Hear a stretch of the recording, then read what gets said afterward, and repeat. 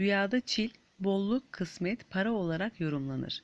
Yüzünün çillendiğini gören insana türlü yerden kısmet gelir.